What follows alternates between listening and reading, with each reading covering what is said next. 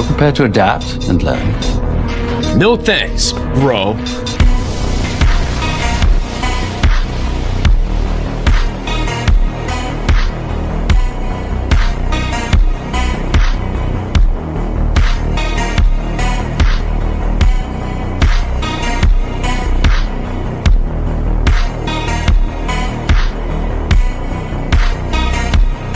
You're small time.